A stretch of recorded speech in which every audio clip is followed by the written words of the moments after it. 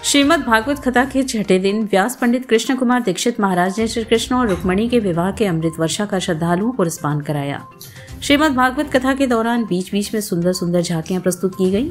श्रीमद भागवत कथा के छठे दिन सर्वप्रथम व्यास पंडित कृष्ण कुमार दीक्षित महाराज ने श्रीमद भागवत कथा के गणेश वंदना विधि विधान से शुभारंभ कराया। छठे दिन कथा व्यास जी ने भगवान श्री कृष्ण की दिव्य महाराज लीला का वर्णन किया। उन्होंने कहा कि भगवान की महारास लीला इतनी दिव्य है कि स्वयं भोलेनाथ उनके बाल रूप के दर्शन करने के लिए गोकुल पहुँच गए।